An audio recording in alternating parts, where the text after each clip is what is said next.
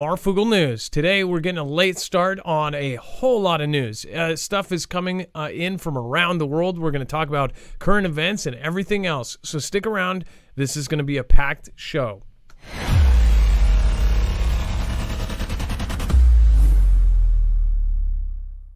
Nothing in the show should be considered legal, medical, or financial advice. The views of the callers can differ considerably and do not necessarily reflect my opinion, Dex's opinion, or anyone else who works with the show. You should always do your own research and consult with professionals. The internet is full of fake news, so please take everything with a grain of salt.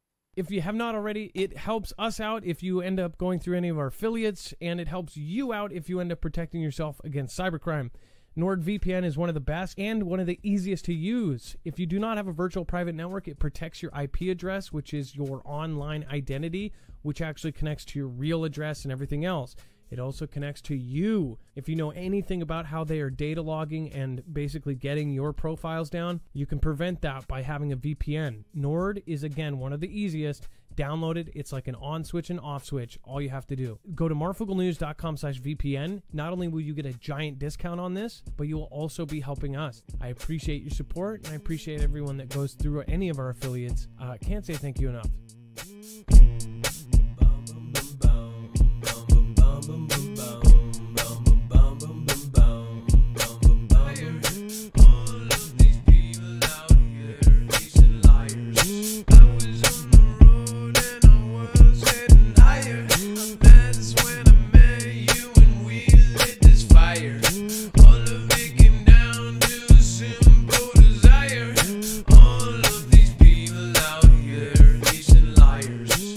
Right, what is going on, guys? It is Adam AK Marf, and this is Marfoogle News. We have a ton of stuff to go over in a short amount of time. So, if you are new here, or a Foogle family member brought you in, or suggested my show, uh, everything here is going to have a source over on our website. Now, when you go over there, you'll see that there is a full bibliography of every single article, tweet, video, picture, document that we show you here today.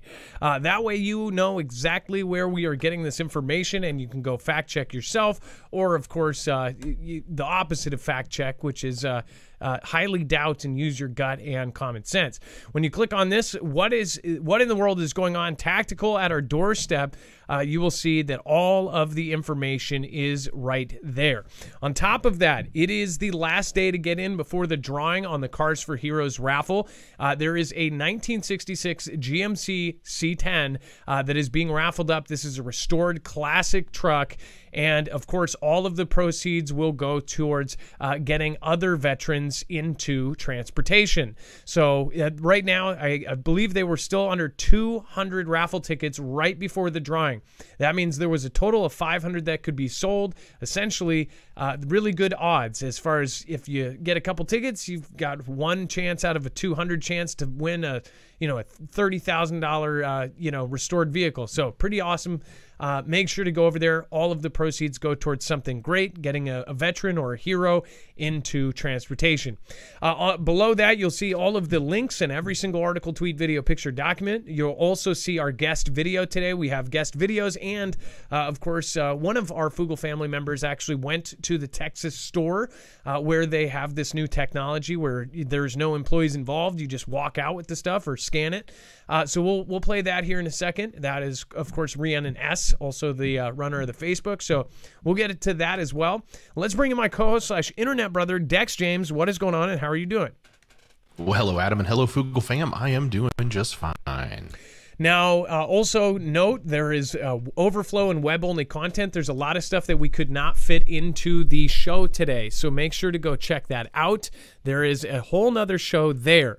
And then, of course, if you have uh, a car that you want to donate at the very bottom right, there is the Cars for Heroes link. If you have an old beater that you want to go towards uh, some sort of charity, then make sure to go check that out. It is all tax deductible. And possibly, if it's a good running card, then it could possibly go straight to a veteran. So, uh, make sure to go check that out.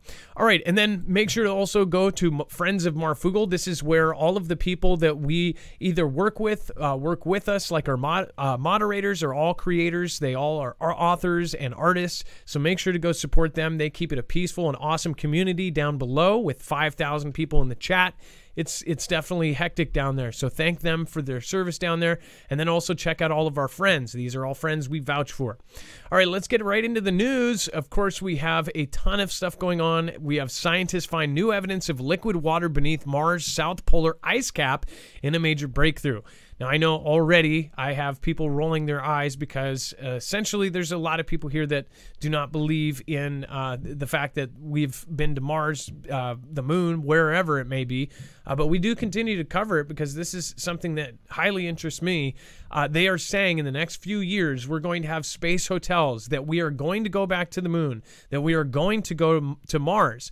And I guess for a lot of people, it, people will either be putting their foot in their mouth or they'll be saying, "Ha ha! I told you so. Uh, I told you we would never go. Uh, or at least we may never go. Uh, the rich and elite have all invested into rockets and into space companies.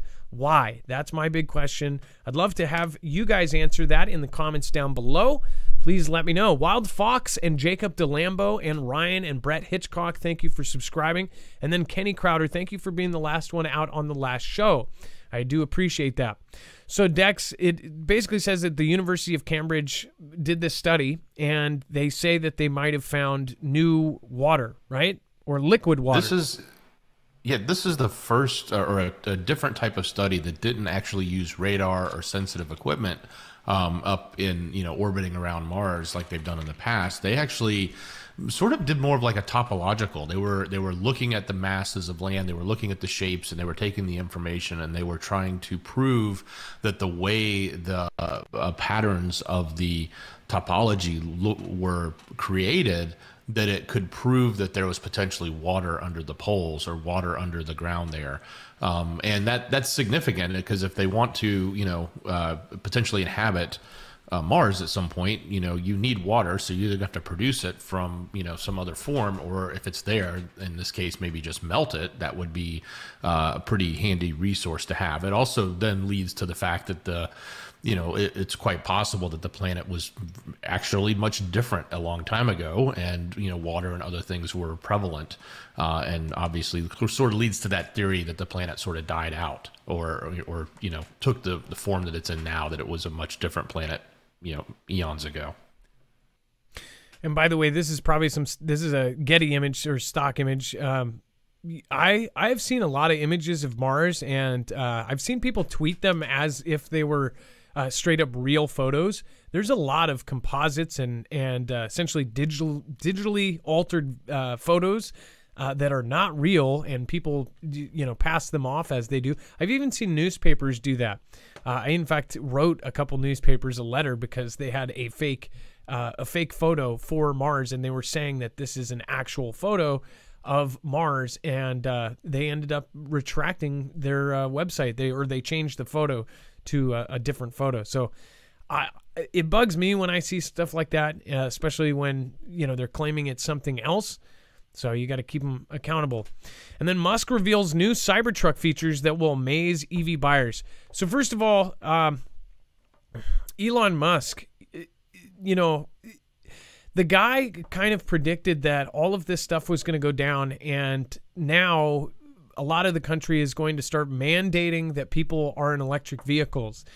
I think it is pretty crazy that he got in this so early. And regardless of how many other companies get in on this, Tesla's kind of been at the forefront of this and they do uh, definitely do some individual and, and very unique things to their vehicles. Uh, like Elon Musk doing the stupid, silly things that make people just absolutely giddy, like being able to choose your own horn. Uh, you can press the horn and it can make a sound like, you know, Darth Vader, or you can make whatever sound you want. Uh, he joked, and this was real. He said, you know, you can make a fart noise as your horn. Uh, this was something that was actually, you know, a lot of people ended up possibly buying that car because of these stupid features. Uh, but this is apparently going to be a game changer because of the power and the strength of it. It says that it is the most anticipated vehicle of recent years. It could be a game changer in the electric vehicle market. And it's Tesla. For its manufacturer, Tesla, the Cybertruck could become the cash cow like the F 150 pickup truck has been for Ford for several decades. The Cybertruck has aroused enormous curiosity among Tesla fans, analysts, and industry rivals. Musk has been talking up the truck for a very long time, but its introduction has been delayed uh, well, a bunch of times. It says now the closer Tesla gets to the start of production, the more heat the vehicle has been generating among Tesla followers. Elon Musk, Tesla CEO, has recently let out some clues to the fan uh, fans that interest and to the fuel further speculation surrounding the vehicle. So, uh, it says in July, the serial entrepreneur revealed the production of this futuristic truck would start in mid 2023 at the Tesla factory in Austin, which, by the way, is, is like the. I, I want to say he said many times that it was going to start prior, but is is that right, or did he just keep telling people to hold on? Well, he kept pushing back, but this whole notion of the the tweet he did today, I think, is kind of the craziest uh, uh, reveal that I've heard about this truck. Um, and it basically he's coming out and saying it's a boat and it will uh, it will float and you can take it through water. Um, I, I, sort of asked this question: Would you take an expensive Tesla and uh, take it through a lake, a river, into the ocean, if you could? Would you? Okay, so that uh, another question, and did he did he do anything tongue in cheek to say that it's not? So he's basically saying that this is amphibious, right? That's that's what he is stating. His his quote is it's I think it's a little further down. Cybertruck will be waterproof enough to serve briefly as a boat. The entrepreneur said on Twitter uh, today, and he continued to say, so it can cross rivers, lakes, and even seas if they aren't too choppy. That is just so insane. So if it if it ends up being any kind of uh, amphibious vehicle, think about the the whole market that's going to go.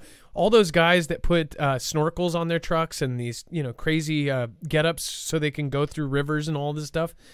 Um, if this can just do that, I, it also makes me wonder like what else is this for? Like is this a vehicle for the the rich and elite to ride out uh, tsunamis or the catastrophic flooding uh, that they say that will happen in the 2030s? Just makes me uh, question, you know, but they, they're going to have all sorts of features as far as everybody talks about the towing capacity and everything else. But if, if it is true that this thing is actually able to be a boat, this is going to be pretty insane.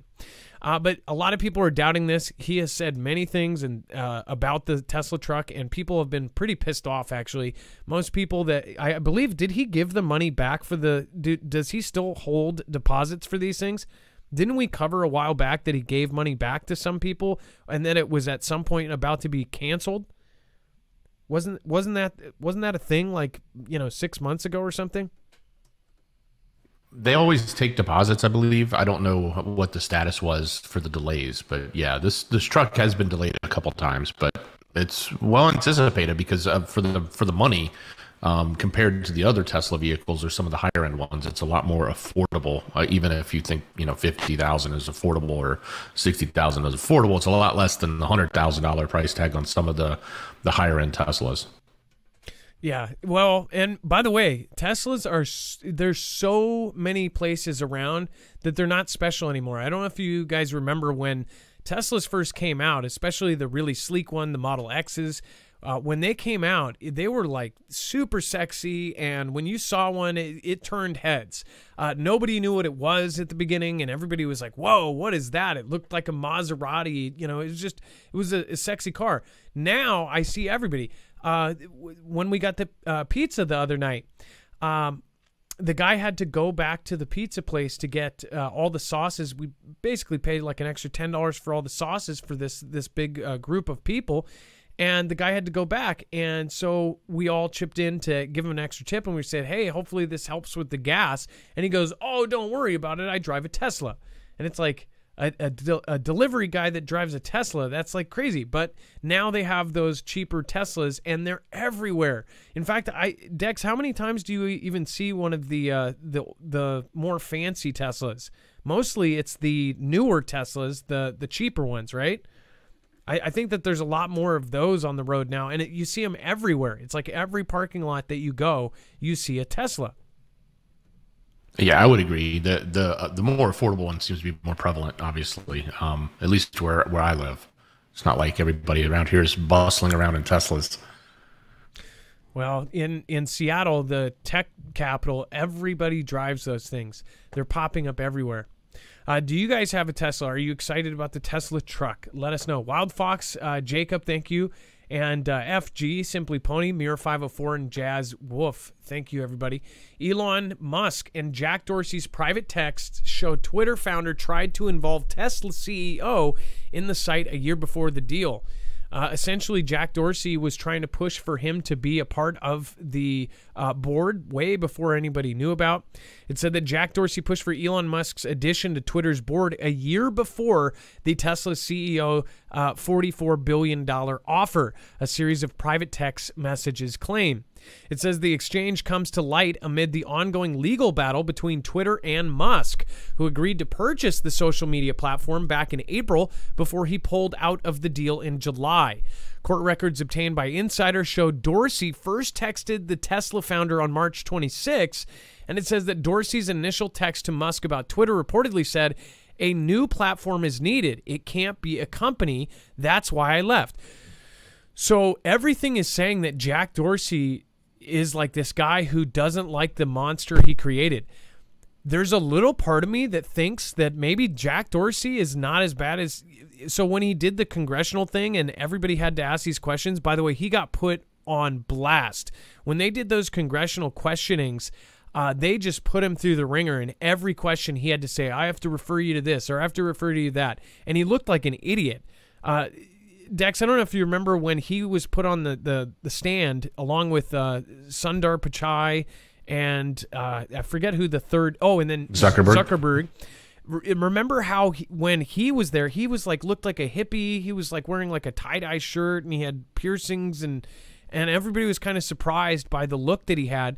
And he looks like this chill dude that's probably you know hitting a, a bong or something in the background and he had to answer all of these questions and tell people do you think that maybe he possibly heard everybody talking about how you know this this thing has become a monster and maybe he, since he created or helped create it or helped found it that maybe he he realizes what monster he created and, and wanted to get out of it well, yeah, he's always sort of said that the the revenue stream or the fact that they were a business, and then once you become a business, and more so once you become a public business, you're beholden to your shareholders, which you're beholden to create revenue and create money, and all of that ties back to advertisers because that's the only people that are willing to pay right now. So they had to basically build a social platform based on ad dollars. So everything they've done, everything they've created has been at the will of the adverti- advertisers or the advertising dollars. So I think that is at the heart of what he has for a long time sort of been suggesting and saying, but it's come out really clearly in some of these private texts that came out from the court case. So um, I don't know how much it changes uh, anyone's particular view of Jack, other than maybe his view of the technology and how he wanted it to uh, evolve in a way that it it didn't. And you know, he left and came back, and I think he came back and tried to get things uh, the way he wanted it, and it still didn't work. And you know, his performance in Congress was sort of evident of that, evident of that, as well as the fact that he was sort of, you know, replaced quickly thereafter, uh, and then he resigned from the board. So. Yeah, so he set him up to to possibly lose forty four billion dollars. I, I don't know how. The thing is, is Twitter decides most stuff in culture now, and as much as you want to say no, it doesn't. It is, and a lot of people do not know. Only uh, three out of every ten Americans are actually on Twitter.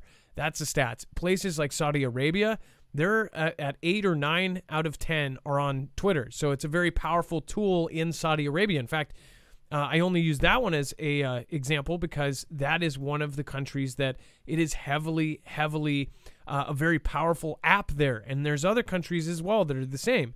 But here in America, it was it was uh, just as of like a year and a half ago, it was every you know three out of every ten Americans. So that means seven out of every ten Americans uh, are basically letting it up to these three out of every ten Americans, the minority, uh, and the very small chunk that are even on Twitter then are deciding what is going on with our culture, what is deciding, you know, what it, this whole woke, you know, movement is all coming from Twitter.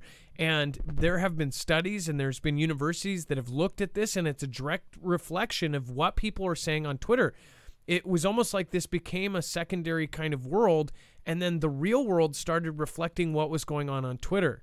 Twitter is extremely powerful right now, and you you guys heard it. You heard it from Twitter itself. They, there was all these stuff, all the stuff that leaked that basically told us that they didn't even care about making money at one point if they were able to keep their bias up. They wanted to uh, push a certain narrative, and they they wanted to push a certain side, and they were okay with losing money to keep pushing that. My guess is because they were getting money from other places those places that they wanted to push. That's my opinion. What's yours? Let me know in the comments down below. Uh, thank you over on DLive. Thank you, Michelle K, Priscilla R. Priscilla R, thank you. I appreciate you being here almost every night, uh, if if not every night. Chance Paladin. We've got Skyhouse Kimbria. Thank you. Uh, I love Jesus forever. We've got Sky uh, Skywill and Zuby360, and of course Vicky K. Thank you guys for your support over on DLive. And thank you guys for gifting out badges. Uh, thank you, everybody over there gifting out Marfia badges. Thank you. Appreciate the fart horn, says Michelle K. Yeah, and then howdy, Foogle fam, Zuby. Hey, Zuby, it's nice to see you here again, and it's nice to see everybody is still hanging out on DLive and keeping it awesome.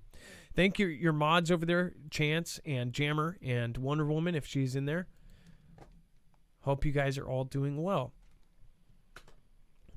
And then obscure Cold War concern resurfaces, leads to expansion of Newsom's power.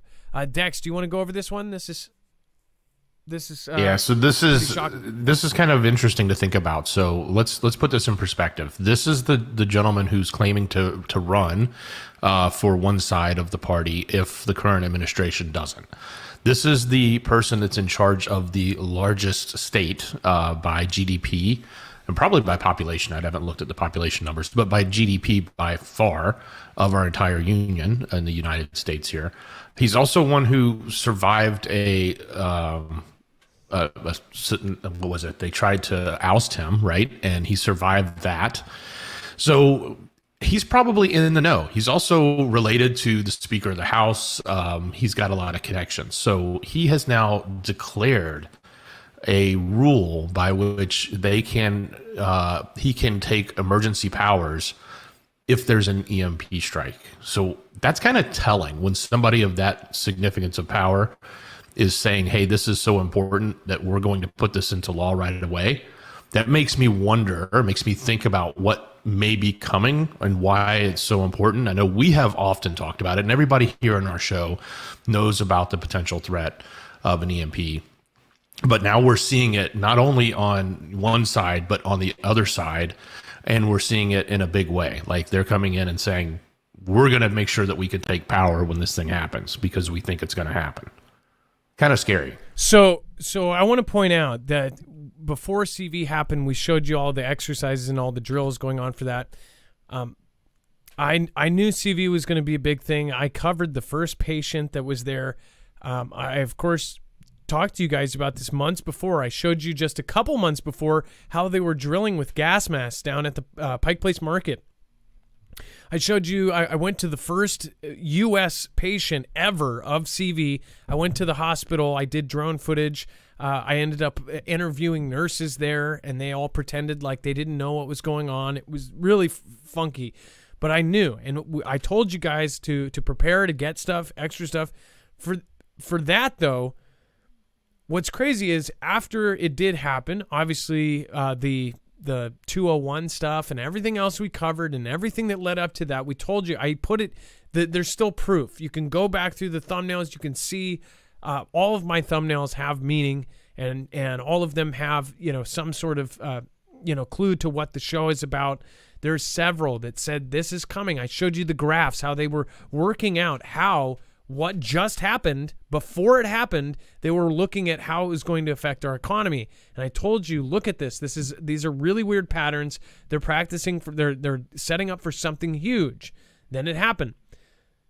The good thing about that though is we were still able to get online and actually talk about it.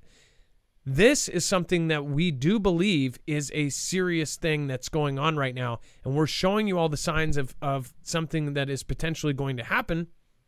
But we will not be here if this does happen.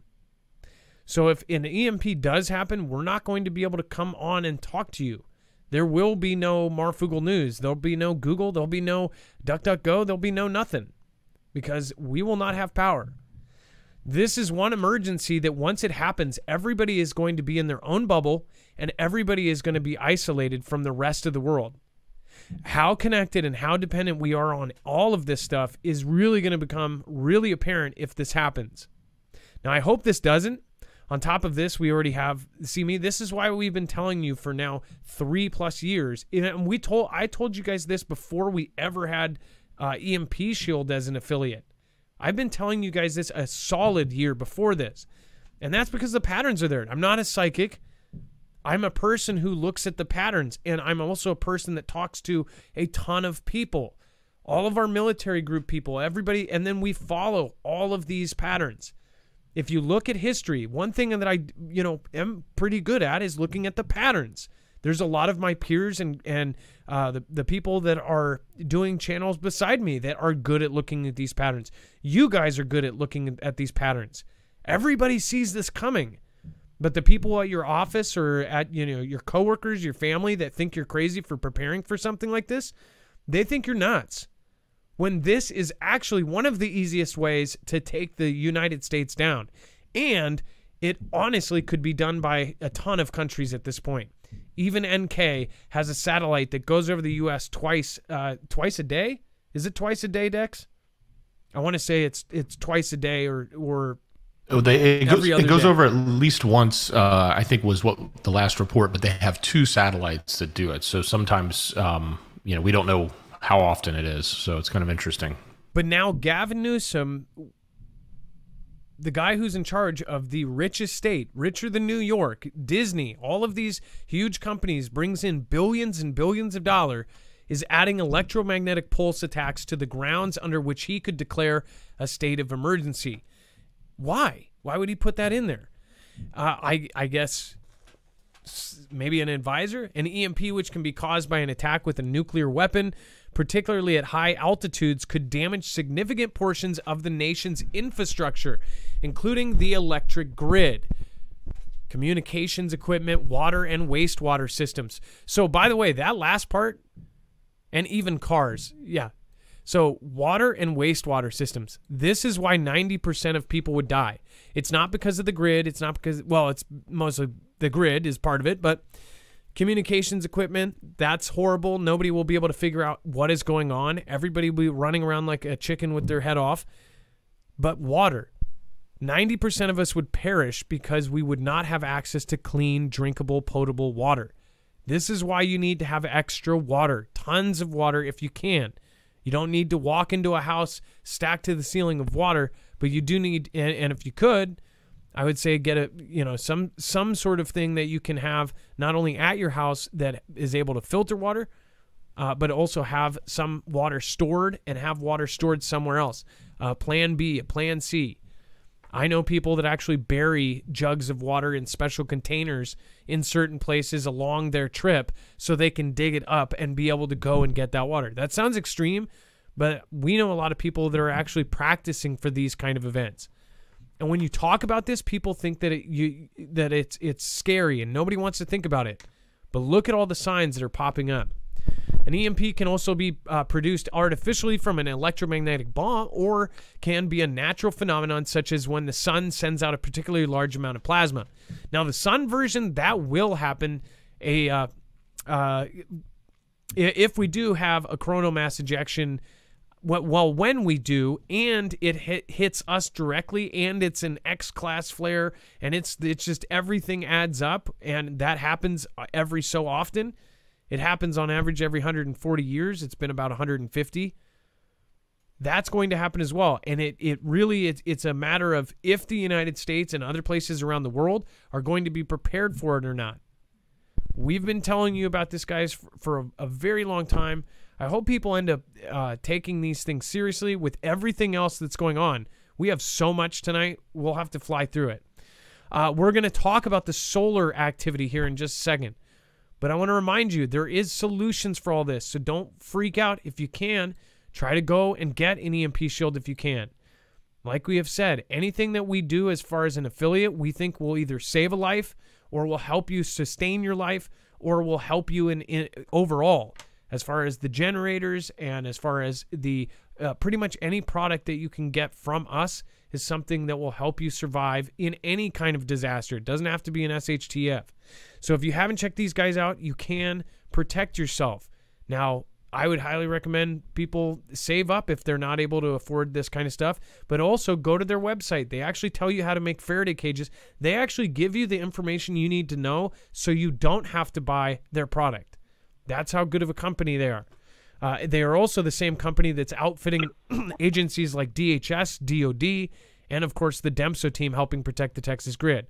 Go to marfooglenews.com slash EMP. Uh, not only are you helping us, support us with the commission, but you're getting a huge discount of $50 off per device. These can be wired into your car, generator, boats, motorcycles, uh, even your ham radio in your home uh, very easily. So go to marfooglenews.com slash EMP. All right, let's get uh, Wages on the phone. Wages World is on the phone, and he's going to give us an update on the, the coronal uh, mass ejection and all the crazy other stuff that's going on, the, the solar flares. Uh, wages, do we have you? Yeah. What's up, Adam? How you guys doing? Hey, good. So let's go over. Uh, I have some photos here that you have given us, and you have an update on yep. what is kind of going down here.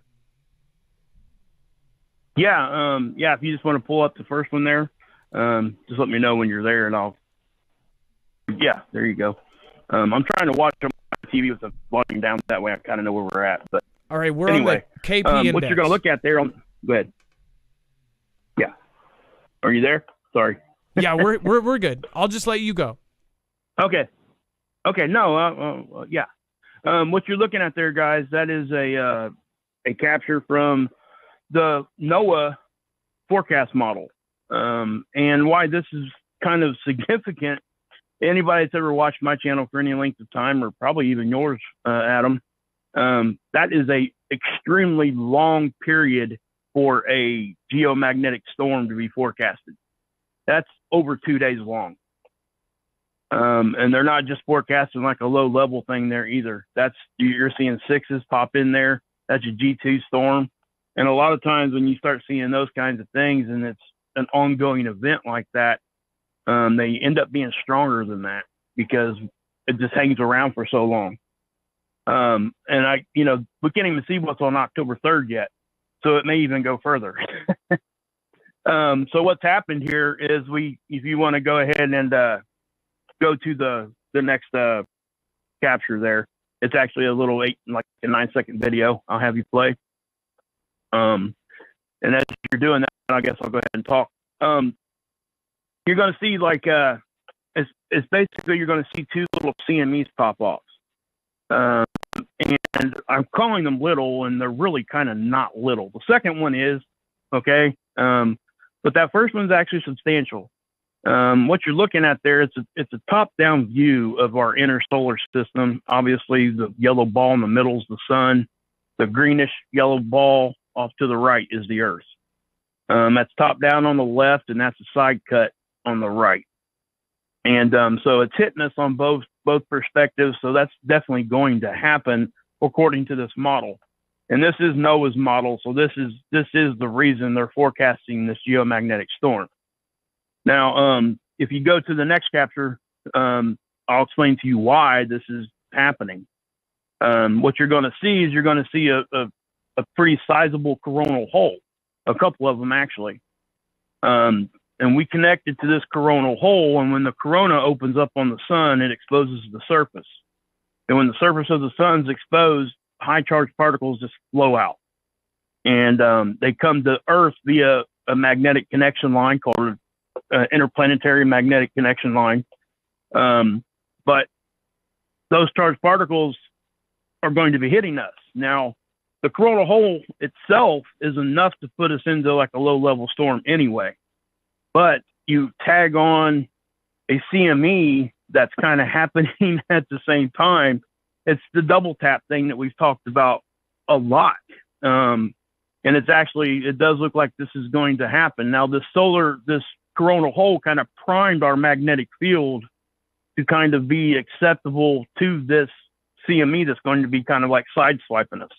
And it's not even a direct hit, but it's not like a, a glancing blow either. It's kind of like a, a, it's a side swipe. So I'll just leave it at that. Um, but that coronal hole, and then if you want to go to the next capture there, Adam, um, it's a little nine second video also, and I'll show you the CME itself. Um, and, and it happened right on in the middle of those two coronal holes. Uh, that that actually would probably be one big coronal hole if um, that sunspot was not there. Okay, um, that would be one big gigantic hole, but you'll see it erupt right. You know, I'm sure you're seeing it. If you want to just keep playing it, loop it if you can. I'm not sure if you can do that or not, but you'll see it. The the you'll see the corona kind of get disrupted, um, and that's that was a CME that popped off. So, and you see that if you actually watch the beginning of that, you'll see a little small, the smaller one will kind of pop off too. I think the smaller one actually popped off first, and then the bigger one came behind it, and it was faster than the first one. So I, ju- I just want to point it, out the model didn't know how to. I, I just want to point out that this is small. This is small on the sun, uh, but these are the size or larger or m- many times larger than the Earth. So when when you see this little thing happen on the sun, uh, that little thing is as large as the Earth itself, and could be very you know ten times as big as the Earth. So I just want to point that out. It it, Well, it it- looks so tiny on screen, but that you know if that heads towards us, that's our entire planet. Right. Exactly. And if you if you compare the size of the Earth to the actual coronal hole, um, you could, if I'm guessing, you're probably going to fit hundred Earths in that hole.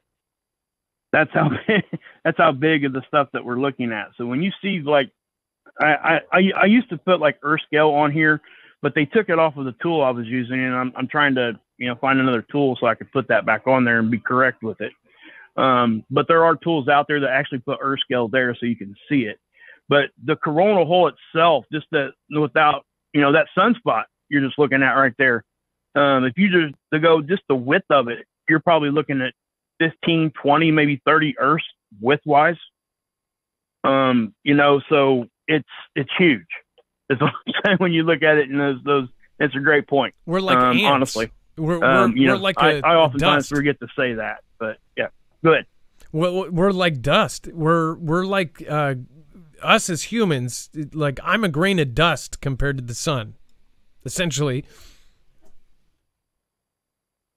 Yeah, yeah, one hundred percent. And I, and I think that that's it's a it's a great analogy because you know I, I say this all the time. The sun can do what it wants, when it wants, and how it wants to do it. Um, you know that is it is the main driving factor for so many things on our planet. Uh, almost all things, to be honest with you, even down to earthquakes, down to all of it. It, it influences everything. Um, you know, without that, we wouldn't be here, obviously um, you know, and, and when big things change, you know, it's going to change us too.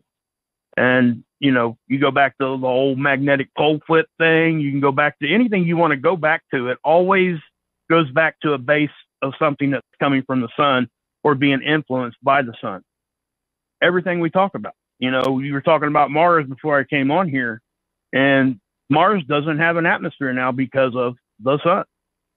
Um, you know, they they theorized that Mars was very much like us until you know whatever happened, either a big CME or just a constant, you know, bombardment of bad stuff hitting it from the sun.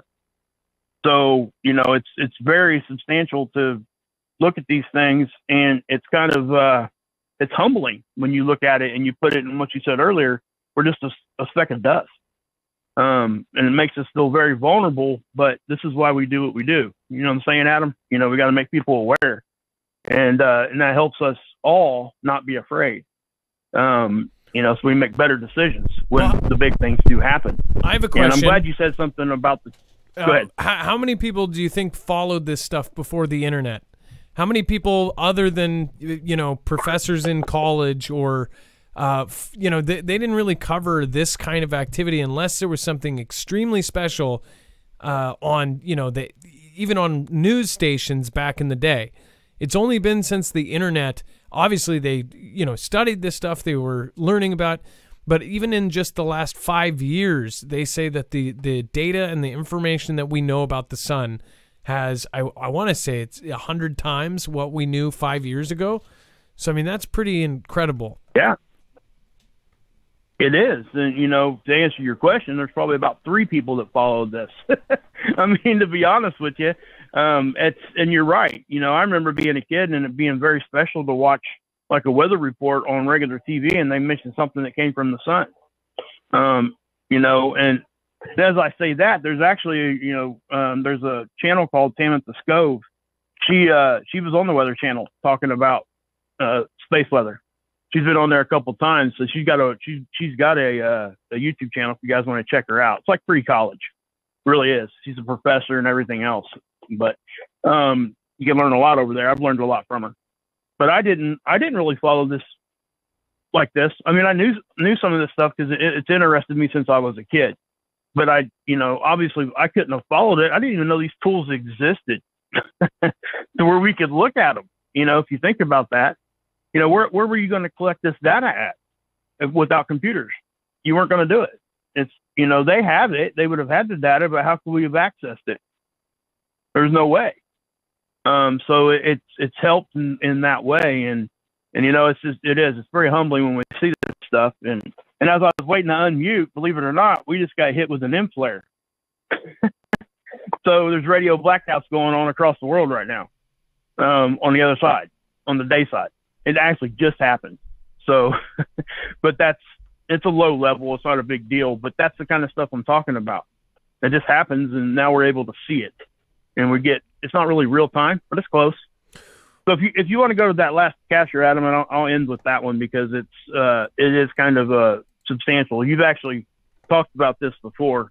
Um, there's been multiple articles written, and probably I don't know the past three months, I would say, they're using seismic activity on the sun to project what the back of the sun looks like as far as where the sunspots are.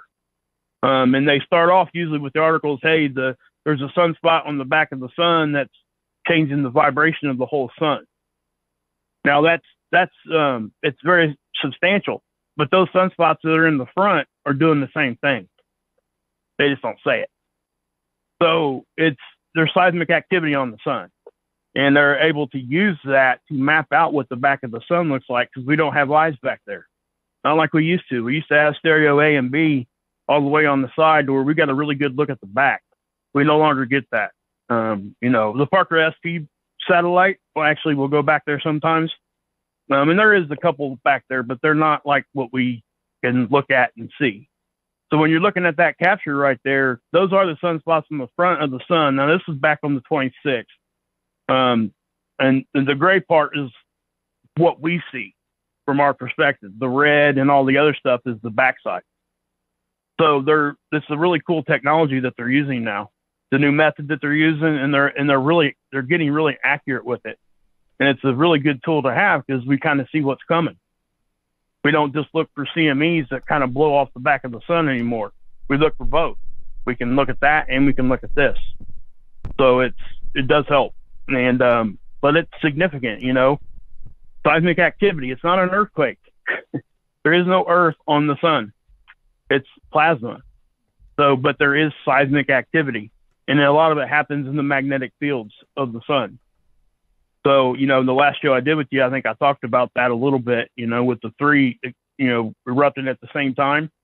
That's kind of what I'm talking about. That's magnetic uh, seismic activity that's causing that to happen all at the same time. It's all connected. So just like we get earthquakes like we've been having, big uptick on that. You know, you get an earthquake down here and what, six, eight hours later, you see it on the other side. And sometimes 12, whatever the time frame is, but you always see a second one on the other side of the plate almost every time. And the same thing happens with the sun. I don't know how many times I showed people we get a big eruption and then a, a, almost 180 degrees the opposite direction, you'll get a you'll get another eruption usually just a little bit smaller than the one that erupted off the front or the side or wherever it came from. So these are all really good tools that we're using, and and you know, like I wouldn't be able to tell tell you we had the flare unless we had this. I had my computer running, and I just happened to glance over and look at it, and it said we were R1 radio blackout conditions. I'm like, what? so that's what I'm saying, and it, it, it's a good thing, and that's why we talk about it. So, but this Now, was, um, I have a question. this is going to be a significant event. Yeah, and I have a question for you. So, so basically, well, also, so what you're saying is, if we see if they when they used to have monitoring on the backside, if something massive went off the backside, then we could almost expect, kind of like if there was a 9.0 in in Japan, that there might be a 7 or 8.0 on the opposite side of the planet. That we might see some sort of solar activity on our side of the sun if something went off the back. Uh, also, as far as like the the worst case scenario, the stuff that nobody wants to think about, ha- have you learned about? Is there any really good predictions or models that would show uh, h- how many places on Earth would be affected? I know that before they thought that you know certain parts of the Earth would be safe from this.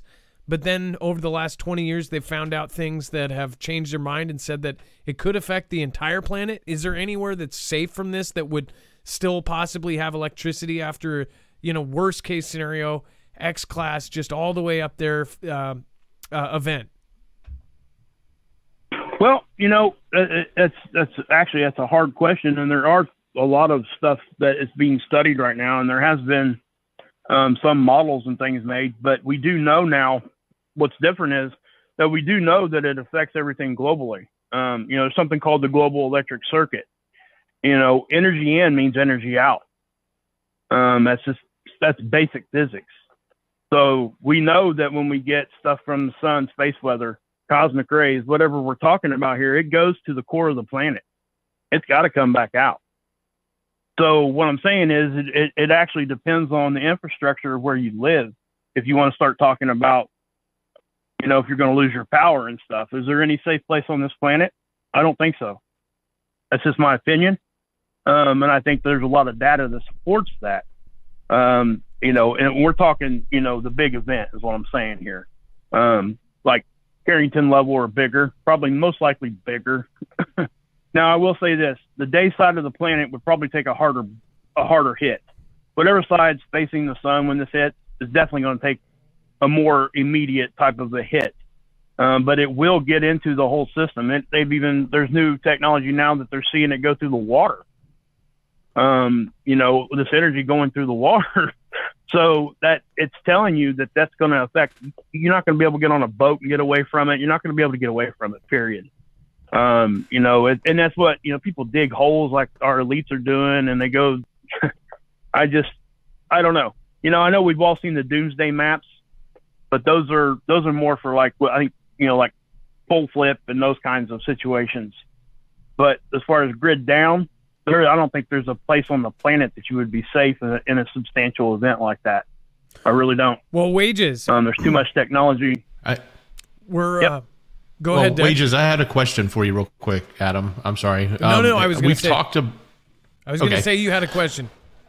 Oh, thank you, thank you. Sorry, I just want to jump in. It's rare that I get to wages. Um, real quick, I know there's been some people that have claimed there's correlations to CMEs and Earth activity, like earthquakes.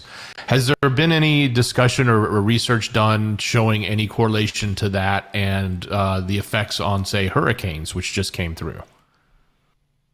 Oh yes, one hundred percent there is, um, and a lot of it's being done by I wouldn't say even you know collegiate stuff or anything like that. It's a lot of independents um, doing a lot of that research, but there is some good research out there, and it does it does you know even well even like uh, NOAA, I've shown you guys the geoelectric field map. That's not geomagnetism. They're they're looking at geoelectric uh, signatures to try to piece together um, how to forecast and help predict earthquakes because we know that it's we're, uh, it's affected by the sun and stuff that we get from space.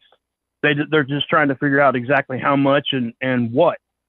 Um, if you go look at that one over on NOAA, it, the USGS stamp is actually on that map. um, along with the NOAA. So they're working together there to try to, you know, find something that works. But there's a lot of, you know, there's a lot of, um, it's almost too, I don't know, it's too coincidental to look at some of these earthquakes. And I've done it myself. I'm not an earthquake guy, right? But I can't, I, I can see patterns. I can see when things happen and I do pay attention and anybody can do that. So when I'm looking at something and I see an earthquake and I can go back to like we had a flare or a CME that hit like an hour or two before that, like right over top of the earthquake. I mean, come on. I mean, it's just hard not to think that that didn't have something to do with it.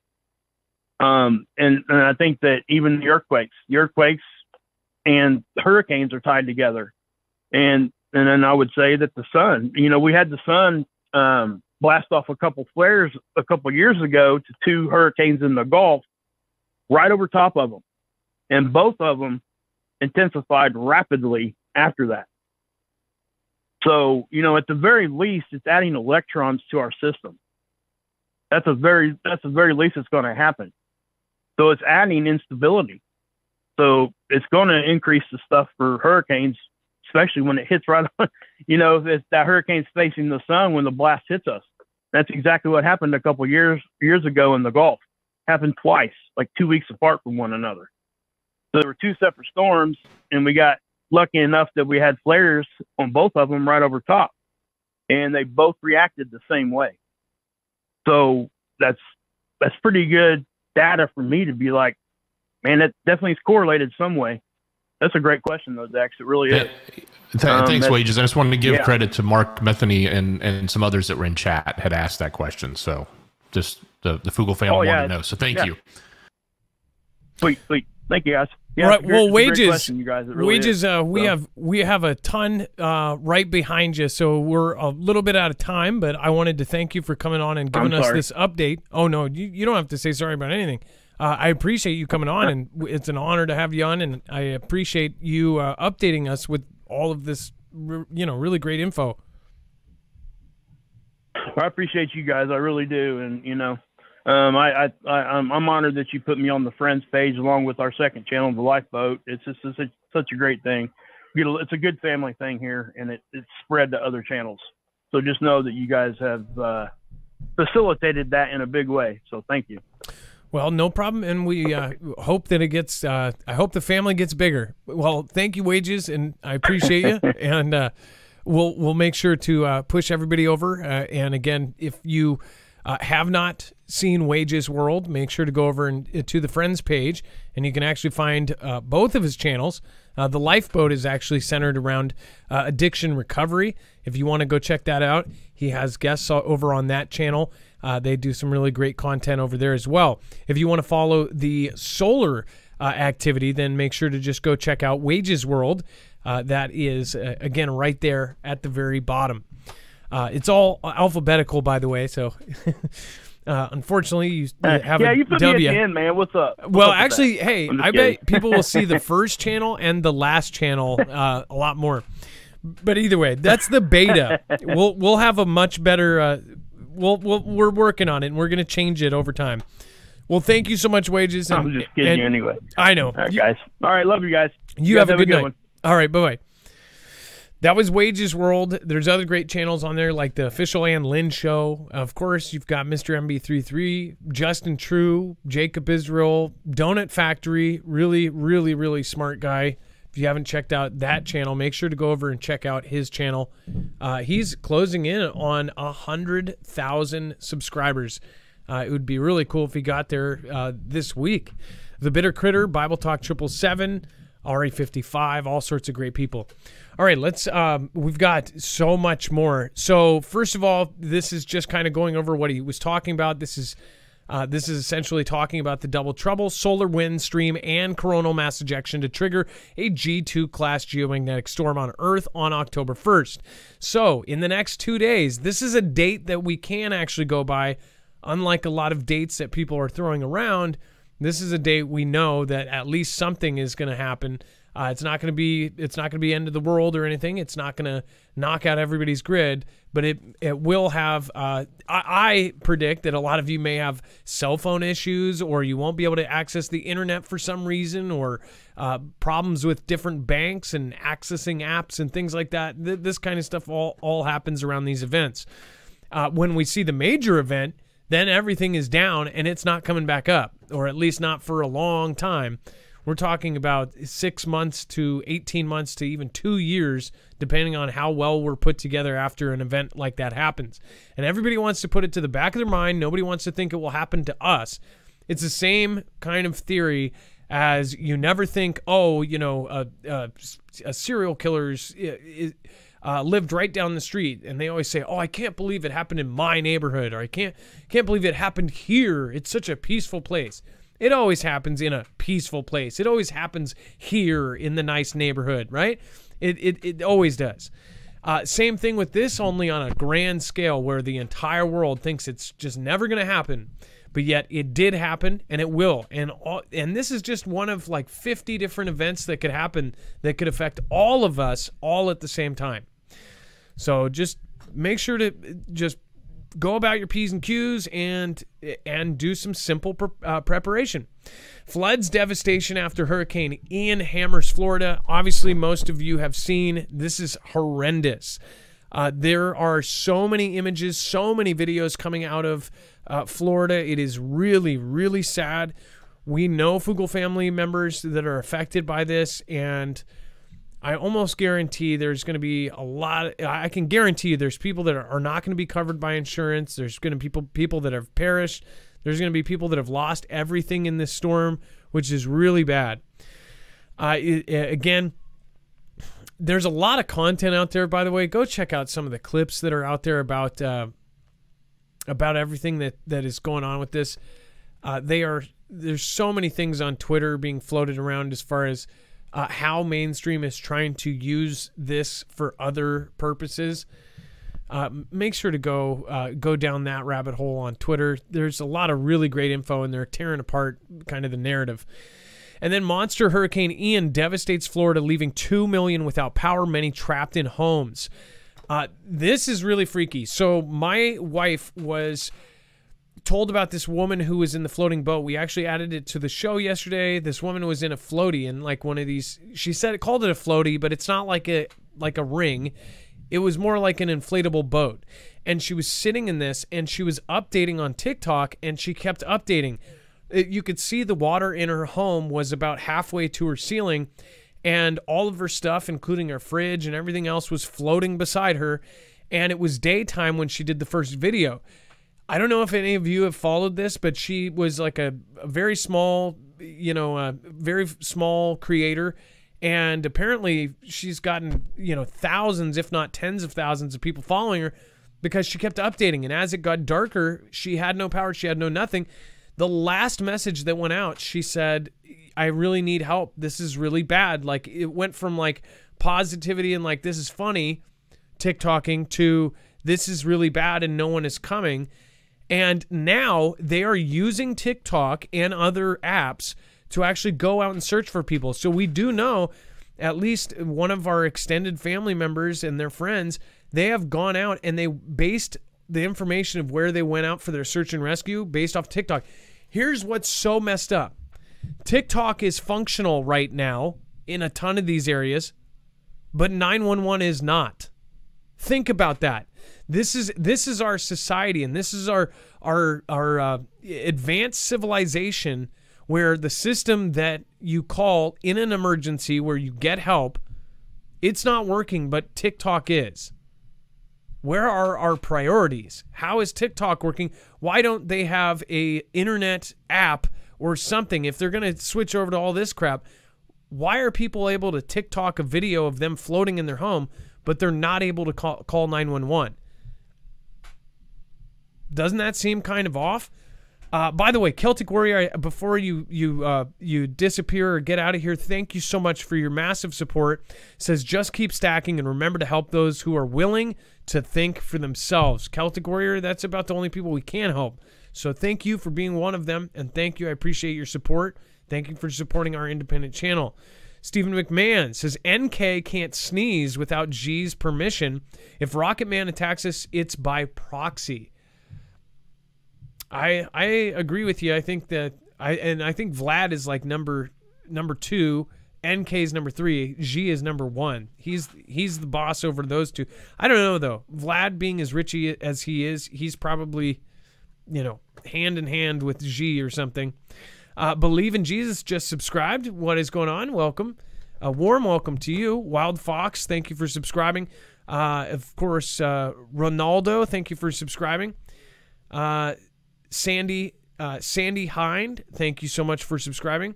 Uh, Rose Rags Cattery, thank you for subscribing. Mr. 67 Nova, uh, eight minutes ago, thank you. I appreciate uh, you subscribing and, and uh, welcome to the Marfia, everybody.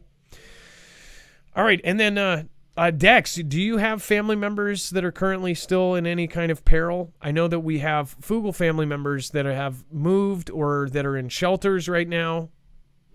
Everyone I know so far has uh, weathered through it and gotten through. Maybe not unscathed, but uh, certainly you know still alive and dodging you know some of the bad stuff. So it's it's not been easy, and it's if you look at some of these pictures and what these people have gone through, it's pretty um, pretty scary. I mean, even like there's an island down there called Sanibel uh, that has a major causeway through it that connects the islands uh, together. That thing's completely wiped out. Not just like the sandbar came over. No, like it literally took the asphalt off of the roads.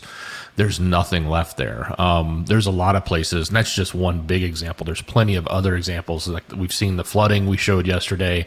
You can see like you know a lot of this place, a lot of the places that were close to the water where the water came in just look like complete disaster zones. So um, it, it's it's not going to be an easy or, or quick fix. Uh, those that have lived through these major major hurricanes, whether it was you know Andrew or Katrina or other places, no, it does take time, and it, no, nothing happens quickly, especially when you need you know that much lumber, that much construction, that much insurance. You know, re, you know, red tape to jump through to get stuff paid for. It's not easy. So, a lot of prayers going out to these folks, and it's going to be a long road. And I think you know the news will move on shortly thereafter. Uh, but these people will be dealing with this for years to come. They'll have tarps on their roofs for well over a year. Um, unfortunately, the hurricane is still a hurricane, or it reformed uh, as it went into the Atlantic, and I think it's heading into. It's currently, I think it's tracking towards Charlotte. Um, or Charleston, I should say, Charleston, uh, South Carolina. So I think they're going to be uh, getting hit next. Uh, it is a Cat one, so it is a lot less than what hit Florida. When it went to Florida, it was a four. So, but prayers and and uh, well wishes for everybody that's in its path or has to have gone through this uh, devastation. And now it's up to 2.6 million of Florida's 11 million homes and businesses were without power. Um, now, one thing to point out that map up there was in uh, the red, the dark, dark red was nine plus feet of water. So th- there was a huge chunk of this whole area. This is uh, hundreds of thousands, millions of people affected uh, that were essentially under 10 feet of water. So this is really, really nasty. By the way, they called this, th- this actually did a pretty good job of it. They said this is essentially a, it said the amount of water that's been rising and will continue today, even as the storm is passing, is basically a 500 year flood. I kind of like how they put that because that's saying this has happened before. It's probably happened a time before that and a time before that. This is in modern day history, as far as they've been recording, they say the biggest storm that hits. Now, there's this whole thing basically saying that this is uh, this is getting worse and worse every year. This is it just happened to be a huge storm that hit an extremely po- uh, extremely populated area in a very rare spot. The thing is, is that they want to they want to they're going to all media is going to use this for a certain narrative. And i just want to point out that this isn't the strongest that's ever been out there. This is something that is the strongest that's ever hit and specifically hit that area. It's kind of like when the 9.0 hit japan. Uh, it hit metropolis. It, it's a 9.0 can hit and if they're if it's up by you know i don't know say if it's a 9 out in the middle of the ocean off of some islands that are in uninhabited and it goes over the entire islands, it's not going to be as bad as if a 9.0 hits off of Cascadia. It's going to be in an area where it's going to take out metropolises. It's going to be one of the worst disasters we'll ever see. You could have the same event happen two different places and and it's not going to be as bad. This was bad because of where it hit how strong it was. This was like the perfect conditions, and like they say, this was a 500 year uh, flood event. This was this was something that was uh, that was that has happened before. So, and it will happen again, but most likely, hopefully, not for a long time, right? And, and, that flooding is all across the state. It's not. I mean, some of these massive pictures that we see are right there at the edge where the water came in. But you know, 30 inches of rain or however much it was, it was significant. It was all the way across the state. There's people over in you know on the on the uh, east coast that have had just as much flooding. Maybe not as high as the surge, but flooding that is you know torrential and significant to all their low lying lands, and to their homes and their streets and everything. So it's a big deal across the whole state. yeah, and and it it was it was big. It was a big, big, big one. Now, uh, Dex, I'll let you cover this one. This is a little bit lighthearted before we get into the really, really nasty stuff. So, we're going to be getting into the scary stuff. So, after this one, you probably want to tune out if you have uh, really bad anxiety, if you get uh, panic attacks, or if you make rash decisions upon learning really scary information. Uh, why don't you cover this very lighthearted, uh, gladly, uh, lighthearted uh, story here?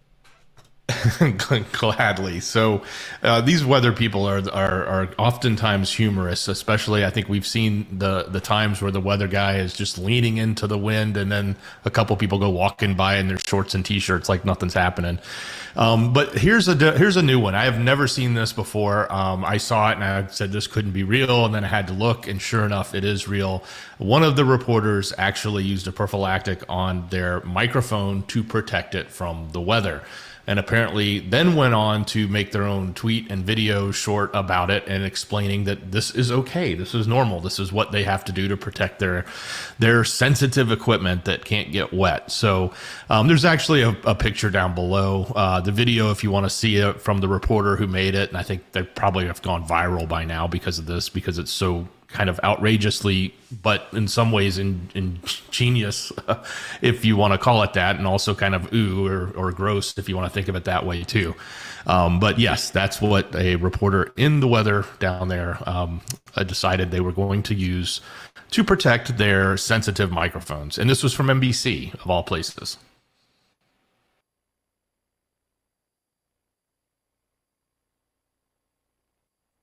I imagine they could charge a fortune for that. It's a microphone cover.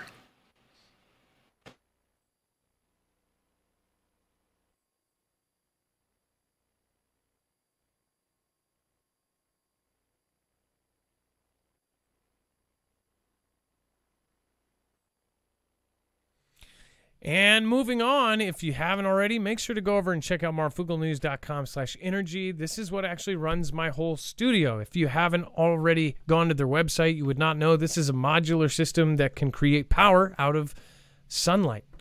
Uh, yeah, solar generators are really great, and the real reason I think that they're really, really surpassing gas is because obviously gas uh, is super expensive, but on top of that, this is silent. I think one of the biggest things, and I said this last time we had a huge storm here, you could hear three blocks away every house that had a generator going.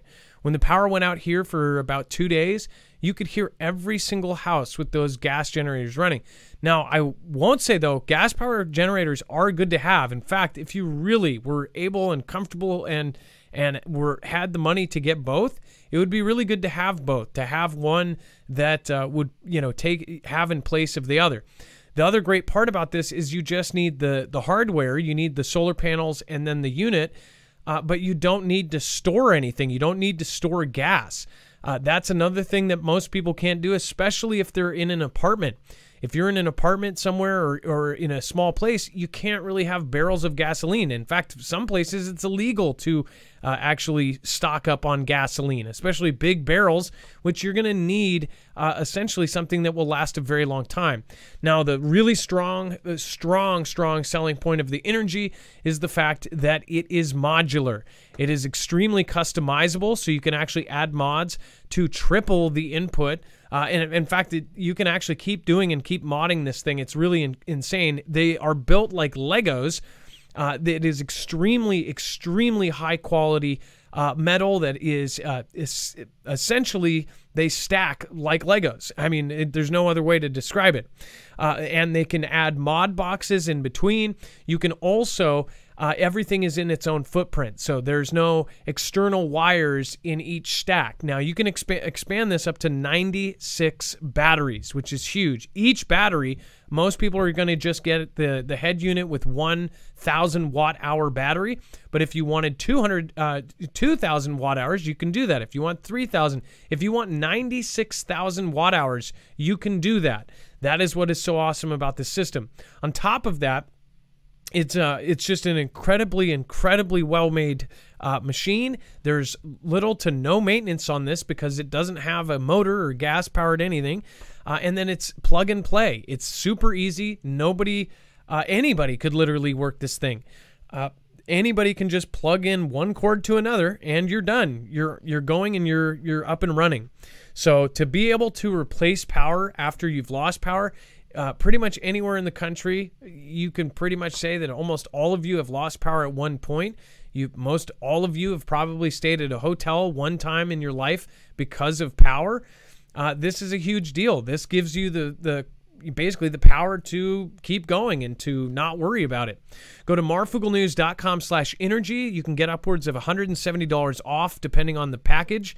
And they have packages, of course, with uh, you, you, can, of course, get uh, packages with solar panels. You can get packages uh, with all sorts of different things. So make sure to go check it out. And they also have the Kodiak X2, the built all in one system.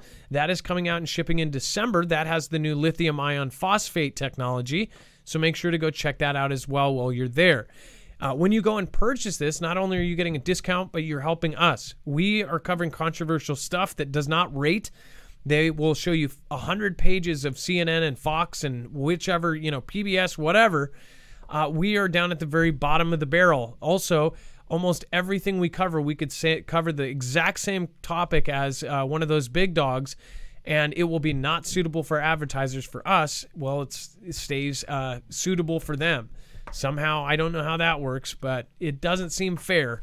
So, what is really fair is is how you guys are able to uh, again, share our stuff out, like our stuff, subscribe, and help us keep growing, even though we are basically at that bottom of the barrel. So thank you, everybody, and I appreciate it.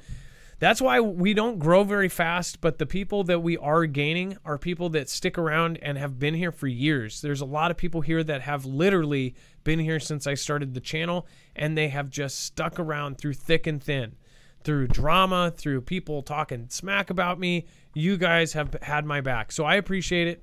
I know I know nobody appreciates ads and things like this, but this does help us run. And most of you understand, most of you have uh, jobs and work as well. We do side gigs, we do all sorts of things. Both myself and Dex have side gigs to keep things going. This helps. So thank you so much. I appreciate it. And we love you guys. Thank you so much for those of you who have ordered through us. And then this is really cool. So another Foogle family member did a really awesome video, and I uh, asked Rhiannon to actually upload it, and she did. So we're going to show you. This is a technology we actually talked about previously. We covered this. In Texas, there's a store, I believe, called Sh- uh, Schwartz or Schertz, and they are going basically peopleless, right? Or somehow. I'll let her explain. So this is a video from Rhiannon S. She actually runs the uh, Marfoogle fa- fan, uh, the Facebook fan page. So let's see here. Switch shirts where they have this new technology. Hey, so I'm at the HEB Schertz where they have this new technology. They give you this scanner right here. And what you do is you scan each item and you put it in your cart. So let's see here. So, and it should pop up. There you go. There's your chicken nuggets. So it's pretty fun to, um, you know, kind of scan all your own items. It goes, you know, everything is scanned right on here. I got some wine and some nuggets and stuff. The only problem is you have to bag your own items. So they give you like a bunch of bags, and as you're filling your cart, you kind of have to like bag your own stuff. Okay, so here's the fast scan area. So I have my groceries and my scanner in the cart. And it says I have to remove all personal items. I wanted to pause it for a second here. Look at this. So it's like a tower that scans everything at once. Do you see that? Oh, it, it's actually cut off a little bit. So I'm going to go out of full screen so you can see this. There's a tower above. This is this. Let me ask this: Is this scanning you as well? Is this in the future? Would they be able to sneak something in that would be able to scan if you had stuff on you? Say if you walked through line with a uh, something like a sidearm. I don't know. Just uh, just a thought. One cart. Oh, yeah. Okay.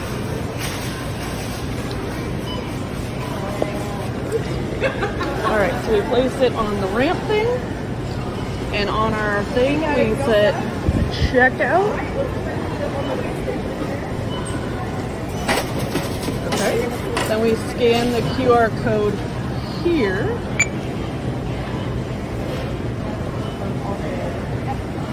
Okay. Now click the right. Okay. And then we pay right there. Okay. And then we go to the pay station and you pay right here. So we scan this one too. So then we scan this one.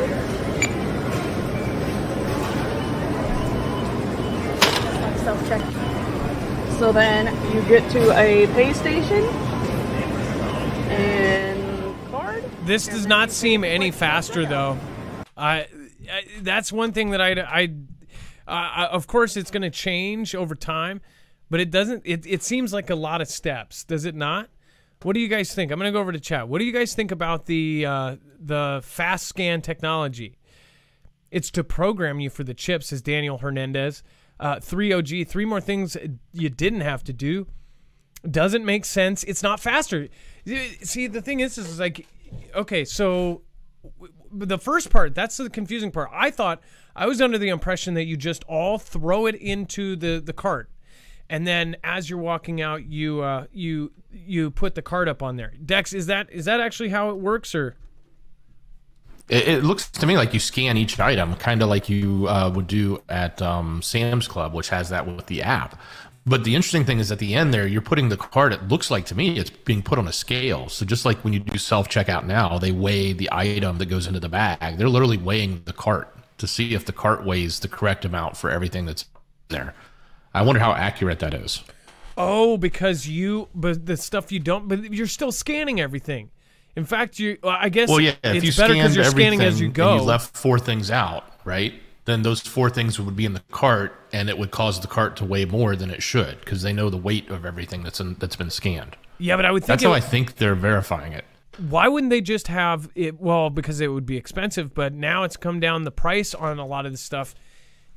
If you would have a chip that was that was uh, that just put off a signal, then you would know everything in that cart. But if it's if it is based on weight, that's kind of I mean that's not even advanced technology. That's like it's like they're they basically added an app to their store experience and they're taking jobs away. That's the other thing. This is taking jobs. This is going to affect the job market. If that spreads, if people go and support, and I, I'm not telling you what to do, but if people do support stores that do this, you are slowly going to get rid of employees. You are slowly going to get rid of, and hey, you might not work at a grocery store now, but whatever your job is right now, are you really sure that that's going to last five years and you might not have to fill out a resume at a grocery store? That's the thing. You might be killing a, a different career that you might have to be in later on. I don't know. I, I don't personally like this. I, I get that, you know, some it, it's uh it would be fun to do as far as like, hey, this is cool. Same with the Amazon Fresh store in uh, down in Bellevue, I think it is. I have not been inside, but they basically you just walk out with the stuff, right? So is this more advanced from that? Would you do it if this popped up? If this technology happened at a store by you, would you support the store? Uh, do you think it's fun? Would you do it? Do you do you not like dealing with people? Uh, after CV, I mean, like all this stuff came about because of CV. It seems like this was CV was the push that got people thinking like, oh, I don't like people. I don't want to be touching stuff. I don't want to do this, or I, I don't want to deal with people. And then it, it, it kind of morphed into this. Now it's it's what I mean. What what is the purpose of this? Just to reduce employees? Go ahead you know, it's sort of related but similar. I I don't. It's rare that I go to Walmart just because I don't like going there. Uh, but I happened to be in one the other day, and it was in the morning time during the middle of the week when it's not. Uh, you wouldn't expect it to be crowded. And the thing that struck me was the number of employees that were there packing orders. In other words, people were placing all their orders, even for groceries, online to be picked up. And you would walk, you, you would expect to walk down the aisle and run into other customers.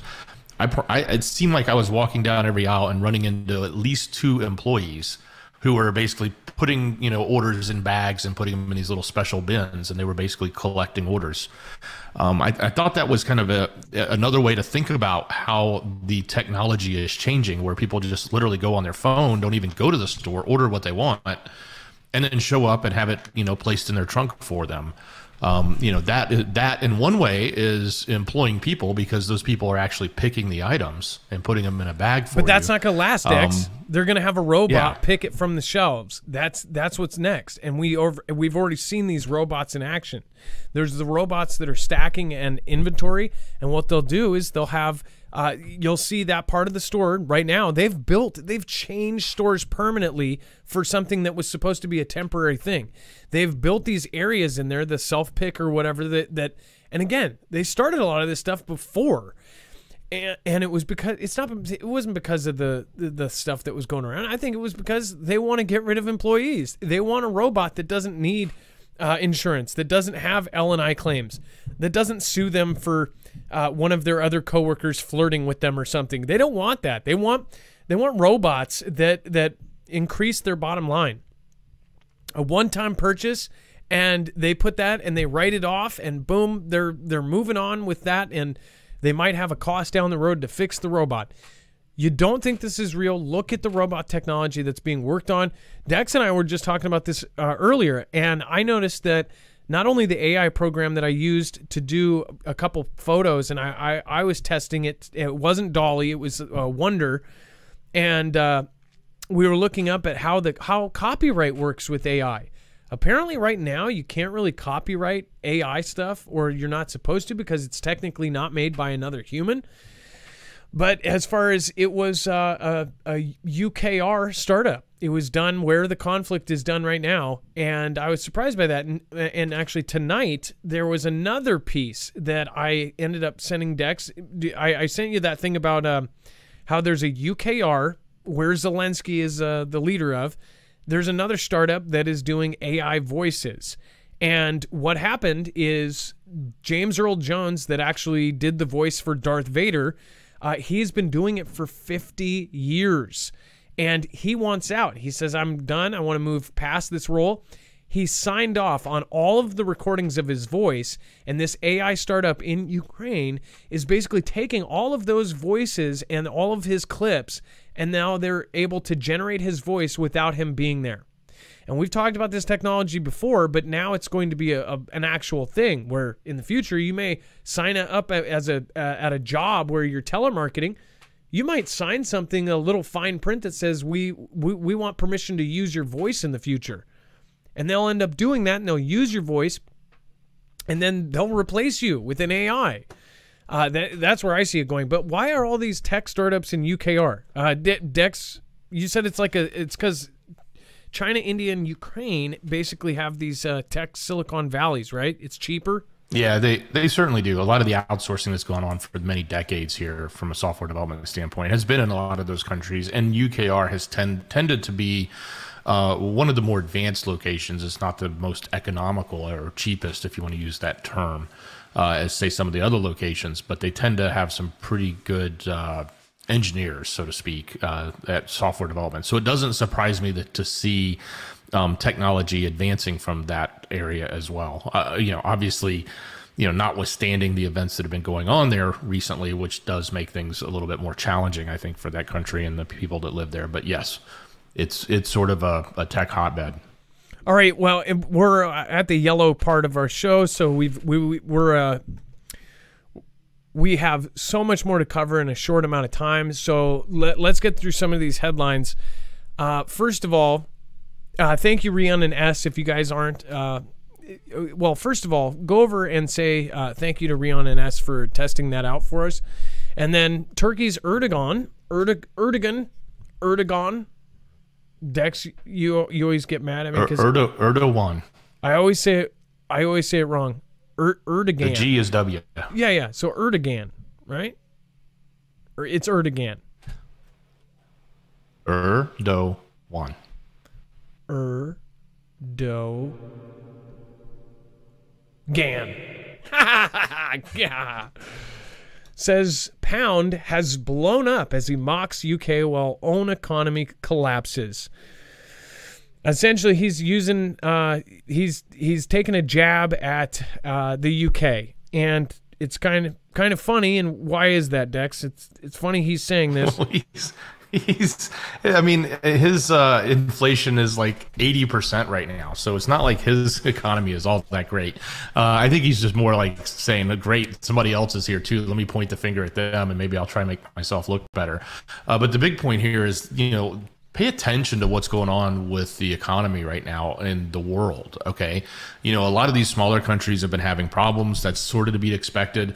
But now that a lot of the bigger countries are having problems, yet the US dollar, as you know, you and I talked offline, Adam, has been pretty strong or is, is, is staying strong. And by the way, things don't, you know, everything that goes up must come down at some point. It doesn't mean it goes down forever, but it doesn't also mean it goes up forever. That doesn't happen either. But um, you know, the the British pound taking a very big butt whooping right now, so to speak, uh, compared to the U.S. dollar, which is putting it in line with a lot of other currencies that have been doing that, which others like you know the uh, Vlad's uh, ruble is not, and um, I think even India's rupee has been fairly flat, not been taking as much of a hit, and um, even Xi's uh, yuan has not uh, it's taken some of a hit, but it's not taken as big of a hit as some of the other countries. So we'll, and we're going to talk about that in just a minute too.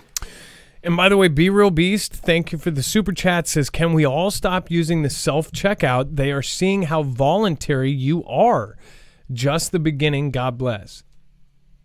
I agree. And then they've even uh, filtered us down. Anybody who uses cash uh, you have to use one machine in most cases. They're, they're like, oh, that's those are all credit. If you're credit, you can go right through. If you're cash, you have to wait. Of course, what are people going to do? They're going to switch. And then China tells state banks to prepare for a massive dollar dump and yuan buying spree as Beijing's prior in- interventions have failed to stem its currency's uh, worst year since 1994. It says the People's Bank of China has told major state run banks to prepare to shed dollar holdings while snapping up offshore yuan.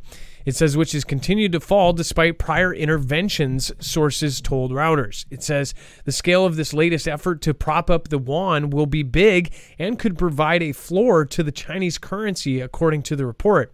It says the amount of dollars to be sold hasn't been decided yet, but Reuters said that it will be primarily uh, involve the state bank's currency reserves. Their offshore branches, including those based in Hong Kong, New York, and London, were ordered to review offshore yuan holdings and check to see that dollar reserves are ready. Dex, this is uh, is this kind of this almost seems like they're they're preparing for something to happen. Does somebody well, know? I, Yes, and it's a sign of the times of the of their economic position. So when you know, think of this as a stock or in a company, right? If you if you own a company and you're public and your stock is like really really low, but you have a lot of belief and faith in it, One of the things you can do is take, and you have a lot of cash, you can take your cash and go buy your own stock back, which takes it out of the market. And by doing that, the demand uh, goes up, uh, but the, the supply goes down. So therefore, the price goes up. So what they're doing is they're saying, hey, we have all these US dollars that we've got, we've been holding for a long time because they invested heavily in the US dollar. Because their dollar value is going down, what we're going to do is go buy as much of our own currency back and swap it for US dollars so that we can pull it back out of the market, which then in, in turn is a hopefully, in their opinion, is trying to save their economy. Um, so these are the games that they're playing with financial currencies. They play it with stocks. They play it with all sorts of different things. So, you know, these are this is sort of the red flags that are going off all around the world right now, economically speaking. Um, and and don't kid ourselves because when they keep saying the U.S. dollar is strong, the U.S. dollar is strong you know, yes, right now we're at the strongest uh, compared to everyone else, right? But that, uh, you know, I think only the other one would be Vlad's currency, but his currency is not being traded because of the sanctions. So it's kind of hard to compare that. Even though the numbers look high, it doesn't necessarily mean it is. Um, but because of that, it, it's kind of a scary point because we've talked a lot about how if all of the other currencies fail or all of the other markets fail, especially Europe, which is huge, um, that's like a domino effect and it will hit us at some point and it will and when it hits the US dollar it's game over for the global economy. And maybe that's what they're banking on. I know a lot of people here talk about what you know changes they think are coming um, and you know maybe these are those signs. So by the way there's a, a ton of talk about the currencies because a lot of people are uh, showing all of the graphs and the currencies basically collapsing or or just dropping like rocks. And meanwhile, the U.S. is like one of the few ones that's going up, uh, along with the ruble as well. But the ruble's not traded, like he said. Now, this is I. If you haven't watched the video I did over on Marfoogle uh, News, I stayed up to watch this live. And uh, so you didn't have to. Man, it was so chaotic. It was so creepy. I at one point, as I told Rhiannon uh, earlier, I felt like I felt like something was going to happen to her, to the VP. It was so creepy. There was it was really hectic, and I don't know if it was planned to look hectic, like it was like it was supposed to be scary, but all of the the all of the the camera people were arguing. People were actually getting attitude with each other, like, "Oh, whatever, buddy. Like, you just step over there." Blah blah blah. People were. Uh, one guy was saying, "You need to stand here. This guy is who you need to be like." You know, this guy over here is is uh, what you all need to be like. You're you're not being model cameraman or whatever. One guy's yelling at them. Another woman is is yelling at people to get down. All the it's just super unprofessional, uh, and it was really like panicky for a second, and then you see Kamala go up to the line, the same line that we have this famous photo of T Man uh, shaking Kim Jong Un's uh, hand and she's standing there and instead of kim kim it's basically this uh, us soldier that's standing there with her and they're just talking casually. And then the camera for whatever reason somebody says something and then the camera drops to her feet. And at that point i said whoa, whoa what's going on? And it was supposedly a live feed but then it started looping. And it started looping from her, her the same shot and it looked like oh maybe they're just panning up and down. But then you see the same hand go into the frame and then you see the same hat and you hear somebody go, guy in the front with the hat, get down. And it keeps looping. And I go, what just happened? This is supposed to be live. And then it just, it, it, it started looping and I'm going, whoa, did something just happen? Are they, you know, are they uh, delayed? So if something happened, and I say this because right before that, it showed a guy in a huge window eh, at the building on the NK side the North Korea side, there was the the Capitol building or whatever, the other side of the DMZ. I don't know what they call that building. There's old school windows that you have to physically lift up. They were about five feet wide. There's a guy in a like, it, I can only describe it as like a uh, tracksuit that you would see Dennis Rodman wear. You know, just all bright green, bright whatever, bright white and green, and he's sitting in the window like this with a hoodie on and there's a guy in the darkness you can see a figure behind him and i'm thinking is this guy bending over and the other guy has some sort of uh, you know weapon on his back like using it as a, a table or something like it looked super sketch and then right after that it started looping and then everybody starts arguing and everybody starts going we're, we're gonna go. Oh, we're, we're gonna pack up. Nothing happened. Kamala didn't talk to anybody. Nobody came out. Then they kind of show her talking to four uh, Asian soldiers, and you think, oh, maybe that was from their side. And then you go, no, wait, that's actually the South Korean soldiers. She's talking to them briefly, and it, it started, the, the video started shifting. Well, then everybody goes, we, we need to go. We need to go. Well, uh, we're packed up. We're packed up. We're getting out of here. We're getting out of here. And one woman's like, you know, getting another woman, and she's going, let's go, let's go, let's go. We're getting out of here. Grab the VP.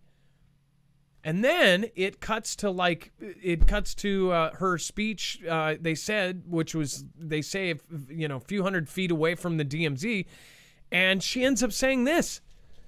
Uh, and when I heard it, it was something I couldn't rewind because it was it was live and it was on uh, TikTok, and I could not rewind. It was some South Korean channel that was uh, relaying it, and I could not rewind. And I was like, "Did she just say that we have a?" Uh, a really great alliance with the Republic of NK. Apparently, I wasn't the only one that heard it. It said that VP Kamala Harris mistakenly touted that the U.S. has an alliance with the Republic of NK in remarks Thursday uh, from uh, Korea's demilitarized zone, or the DMZ, sought to reaffirm America's commitment to the security of its Asian ally, uh, allies. It seemed like they went there, and it, it made it almost out like like they went there to to be peaceful and to try to talk, but they didn't come out. Maybe they just like popped up randomly because that's what it looked like. Maybe they just showed up and said, you know, hey, have them come out. And they gave them like two minutes and said, okay, we're out of here. Oh, well, they don't want to work with us. And then did this speech. So, and then she she awkwardly is like, ha ha ha. She's like laughing and she goes, ha ha, because uh, you know, I guess they just launched a ballistic missile because apparently they have ballistic missiles in the DPRK. Apparently they have ballistic missiles in the DPRK. This is the vice president. I was like, is this some supposed to be a joke? Is this her weird humor? And then she does a gaff that her boss would make I'm sorry, but it's like people people on both sides they want to defend this kind of stuff. First of all, the the whole left right whole thing is just a, a division tactic in my eyes. But as far as the gaffs that they're making, I don't think that when you have a script, it's front of you. I make less gaffs and I read every single day. These people are held up to a different uh, standard than ours. I bet I would definitely make gaffs if I was VP or the president. 100%. But when you make gaffs at this level and say that we have an alliance with NK, like was that an accident? Was that subconscious? Like what she was super nervous and if you watch the video she's like stumbling over her words Maybe she was scared. Maybe they, they were scared because of what just happened. It made me think something shady as hell was going on. And I'm telling you, it was shady. I, for the, uh, I, that was the first time watching what she was doing. I got butterflies thinking, oh my gosh, is, is this where it's going to happen? Like something happens. And I'm thinking, everybody thinks it's going to happen to JB and then she takes place, right? I'm thinking, wow, what happens if she gets something happens to her and something happens to her? What? Then we have uh, Nancy in the office. It it just seemed something seemed off about the whole thing. So the the Kamala thing, she basically said this, and then she went on to talk about this whole, uh, basically that that these guys they're they're not playing nice. And by the way, after she left, they ended up doing two more tests, uh, two more ballistic tests right after she left. And then Vlad blows up, and they're saying, just as a fact here, Vlad blows up gas pipelines, declaring an all out energy war it may have already lost. So, by the way, uh, I don't know if they have 100% proof that they did it. We don't know who did it still, right? Or are they saying that because the Danish defense says they did it? Uh, Dex, where are they basing the information of, of that uh, Vlad most definitely did it? Well, and, and so this is coming from Time. Uh, okay, so this is you know a big publication they come out with this headline like this, but then they then they later say in the very beginning it's more like it appears to have been done. So um, and he may be uh, declaring an all-out energy conflict, right? So.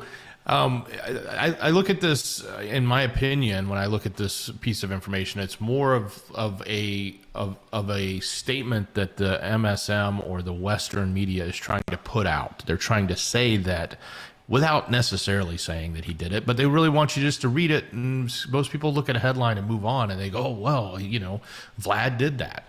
Um, and and so I want you to take this along with the rest of the the pieces we're going to talk about and think about how this message kind of brings together this picture that they're trying to paint to the West. And when I say they, I mean the West.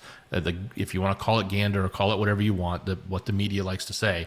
But think about how they're putting all of these pieces together into a bigger picture. And in my opinion, it feels like they're putting together this picture to justify what's coming next. And so keep that in mind. You know, we've talked about this already. Um, we don't know if he did it, if if we did it, if somebody else on the sitting on the sidelines did it just to try to get two people upset with each other. We don't know if a natural disaster actually caused this to happen, right? Um, we're not fully sure, but what is clear is this messaging, not just in this article, but as we go through some of these other ones. Think about the bigger picture of how it's coming together and what what they're trying to um, you know, uh, I guess, incite or create in the minds of the readers. Iran could have done this. Any country could have done this. Any country that has access to a, I th- I believe a uh, somewhat, uh, you know, somewhat current submarine. Uh, they have these research submarines that could do something like this, right? and I'm not talking about that country in specific. They could drop something in the water and done this, right? Yeah, go to the bottom. Well, well, here's what what's happening right now. Everybody's up in arms, and especially Europe, right? If this is damage, it, it, it people should be able to ask the question, why would Vlad do this to himself? And in the very beginning of this, it talks about it says. It says there may be no clearer sign of an enemy in retreat than scuttling his own ships scuttling their own ships. It's it, you know it's been used eh, for a very long time as far as like oh they're scuttling their own ships, right? He's damaging his own pipeline. Why? Unless they're trying to unless they're both working together to try to like get this going, to give a reason why this is going on. The fact that it but if secretly if Vlad does know, say if Vlad did know who did it and it might be say the West, then that would also be a reason for them to be like, okay, we're just doing this. And they may, might, may call G and say, it's game on. Or it might give a reason for them to start this whole thing, to take Taiwan, to take UKR and go into Poland and all this, start this whole thing on top of, and that that will be a reason for why everything collapses it will be just it would it would definitely justify why the dollar collapses. So, so everybody is saying is how all these other uh, currencies are collapsing, and a lot of people think that they're going to collapse into the dollar, and then the dollar will collapse into something else, whether it be a digital currency or whether it uh, collapses into something else or gets transformed into something else to hide all of the problems of the past. It, it it's just questions we're asking here. It's it's again it's just my opinion, Dex's opinion, and those of yours. We should be able to, to share our opinions. And then NATO threatens to retaliate against suspected Nord Stream sabotage, uh, ratcheting up tension with Vlad. Before we cover that, I do want to remind you if you haven't already, if you don't have survival food, if you don't have freeze dried foods, or again, they have all sorts of great stuff over there, go over to marfooglenews.com slash prep. This is powered by My Patriot Supply. And essentially, what they have is all sorts of different survival gear. Uh, their main thing, though, is their food kits. They have 72 hour kits, a three day kit you can throw in your bag, or they have a one month kit. Again, that's one month or three month kit. Uh, that's three days a meal for whichever time period you choose. And it will basically get you through that. It's also really good food. It's freeze dried, so it keeps almost all of the flavor, and it's packaged and sealed to last over 25 years. when you look at the price of freeze dried foods just from three years ago before CV started, it has tripled. So if you think about it like this, in another three years, if this is triple the price it is now, that would really be horrendous. But again, you'll still have 22 years on the shelf life uh, if you end up getting it now rather than later down the road. If it ends up uh, taking 10 years to triple in price, uh, still same thing. You would still have 15 years of shelf life, and you have uh, great food that is ready. Just add water and cook, or add sauce. In a lot of cases, say you know any of the meats, you just add whatever uh, you know sauce that you want to marinate it in, and boom, that will be enough water to cook it and to revive it. Uh, once you add the water back, most freeze dried food tastes very close to what it did when it was freeze dried. That's the amazing part about it. Dehydrated foods are also great as well. There are a lot of things that you can do at home. If you can't afford to do this, that's why we show you our, our list of friends and people that are teaching you how to do these things. But it is a lot of work. Most people don't have time to actually get enough prep, uh, at least enough prep that will get you through what the potential scenarios are. If you're talking about six months to a year to 18 months of food, which is what uh, DHS says six months to a year of food, then it's going to take you a long time to freeze dry it yourself and a $4,000 freeze dryer at least if you want to be able to keep up the pace to get six months to a year of food going. They also have all sorts of other stuff. They have the Alexapure Pro. If you think about like how am I going to store hundreds of gallons of water? Well, if you get an Alexapure Pro, uh, whatever water you may find or whatever water you can attain, you can actually just filter it through one of these and get rid of all the nasty stuff. Alexapure Pro is one of the best out there. It is uh, a lot of people compare it to the Berkey, only I think it is a fraction of the cost and it does all of the same stuff. So make sure to go check it out, marfooglenews.com slash prep. Every purchase, not only are you getting a discount in most cases, but you're also helping our channel. So thank you guys for putting up with our advertisements and thank you for uh, supporting us through these advertisements. All right, and then NATO threatens to retaliate against suspected Nord Stream. So see how this puts together? See how this fits? The the sabotage happens. There's still no 100% confirmation or at least they haven't shown the public confirmation. But yet now NATO has a reason to do something big. Says NATO has threatened to retaliate against suspected sabotage of the Nord Stream natural gas pipeline that runs between Vlad's country and Europe. NATO issued a statement on Thursday saying that the leaks were of deep concern. No pun intended, right? Sorry, that was bad. My dad joke brain does not stop. And that if the damage was caused by sabotage, it would be met with a united and determined response. Well, uh, what are we going to see next? That they went down there and investigated, and they'll pull out a little thing that says, you know, "Privyet," and they'll be like, "Ha ha ha! We we caught him." Now we're we're going to have a united response, and we're going to go, I don't know, take their country out or something. I don't know. It just seems uh, seems very odd timing, right? Uh, and then Dex, do you want to talk about the uh, Vlad warships and submarines spotted near Nord Stream gas leak sites. And who's reporting so, it? So here we have uh, yet another story that's sort of painting this picture. So uh, they came. The first first story was abs, sort of absolute in the title. Vlad did it. The second story is well, is going to respond. Third story is oh well, here's some potential proof. Uh, there was Vlad ships in that area. Um, so that's you know like how how much more are they going to just sort of continue to cram into this now? Mind you, all of this could be actually factual. I don't know, but at the same time, it just feels like they're the way this is rolling out is they're just painting this picture of of exactly why we're about to do something. And whether or not we're doing it for the right reasons, whether or not this is an organic thing or Vlad really did it, or whether someone else did it, or whether they're just, you know, creating the illusion of, you know, uh, like we did in the first um, uh, conflict over in ME where we rolled out the the proof of the WMD and then later we found out no it really wasn't right? But it was the reason everybody got behind and said yes go do that right? So you know this is this is sort of that that stage of the of the event so to speak.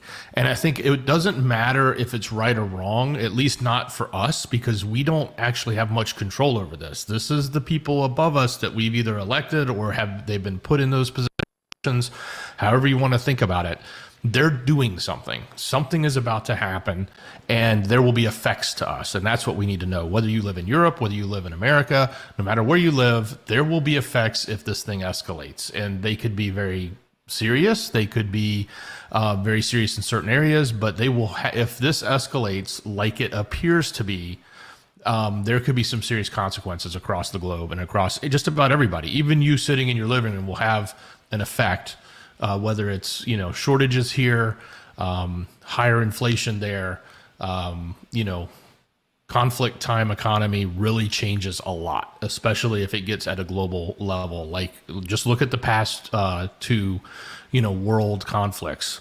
You know, a lot of things happened: rationing, jobs changes, manufacturing changes, all sorts of stuff get put into place. A lot of rules get put into place that you're not necessarily going to like. So, by the way, uh, Craig Ellis just made a great comment. Says President B said he would stop the pipeline seven months ago. So I tweeted that earlier. I believe. Uh, so so so let me uh, go to mine here. Let's go to my Twitter, and there's a video out there. It's from seven months ago, and uh, this this is it. So let's see here. This is on uh, Twitter. That means.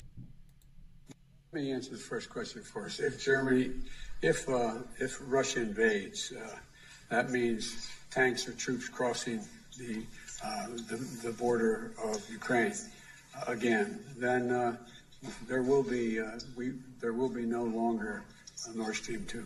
We we will bring an end to it. And then uh, the journalist basically says, "Well, what do you but mean? How will you how will you do that exactly, since the project is within Germany's control?" We will. Uh, I promise you, we'll be able to do it.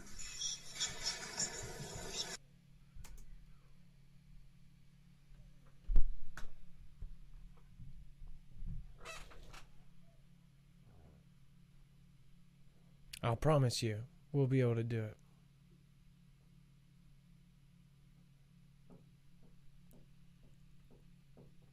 Hunter, did you see that grid on top of my Senate? you totally got it, right?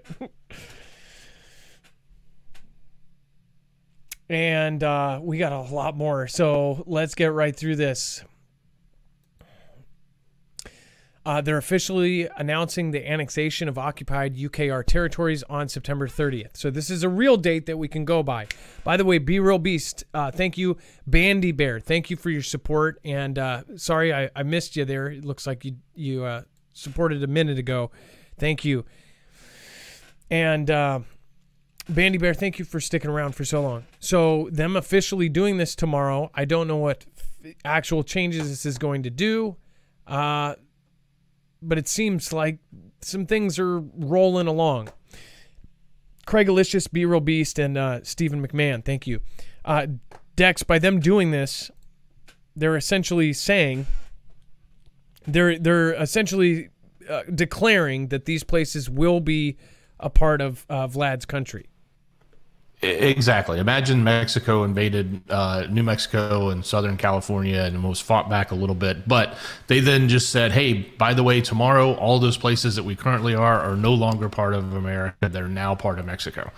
What do you think the people that live in that area are going to feel, right? Um, now, granted, th- these areas do have uh, a lot of people that are supportive of Vlad, but they also have people that are supportive of their own independence of being UKRs. So, this is a big deal. It's a big statement. This is what happened with Crimea. They went in and they did that. They annexed it in and said, hey, it's now part of Vlad's country. Um, so that's what they're doing. They claimed as much as they could. They fought in as far as they could. They got pushed back. And now he's at the point where he's saying, okay, quickly, I'm going to draw a line down and say, this is now my country. So when you come across that line, you're now entering my country. I can apply all my rules. I can apply, apply my sovereignty and everything else to these territories. So kind of a big step it's a very big step, uh, especially for the country of UKR, who looks at that as their sovereign land. Yeah, and we'll we'll end up uh, we'll end up seeing what happens. I hope uh, if if you aren't subscribed now, make sure to subscribe. We're gonna have a show tomorrow, and we will be covering this. So we'll see what happens, and then of course, when he pops in, when green when green shirt pops in, calls an urgent meeting of the National Security Council for September 30th. Which, by the way, I think I missed it on the last one. On this one, it actually says uh, that Vlad is asking for an emergency meeting of the UN. Uh, so basically, uh, everybody's saying like, we need we need to meet real quick. Something's going on. Uh, and then it said that he uh, the agenda and other details will be announced later. He added. Uh, Vlad State Media revealed that uh, Vlad will announce the annexation of occupied UKR territory, including the parts that remain under UKR government control.